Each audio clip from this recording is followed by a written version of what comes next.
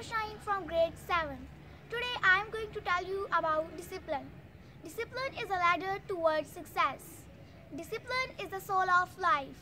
It means order, control and arrangement. It is the process of rules and regulations. Allah invites us to study the nature. The study of nature tells us how disciplined it is. The movement of stars and planets in their orbits, change of day and night, and change of season all show how these systems are disciplined. If discipline is not maintained properly, the result will be disturbance. A student must also discipline his life. A student learns discipline first and books afterwards. The secret of success lies in discipline and order. Discipline is a bridge between goals and accomplishments. Thank you.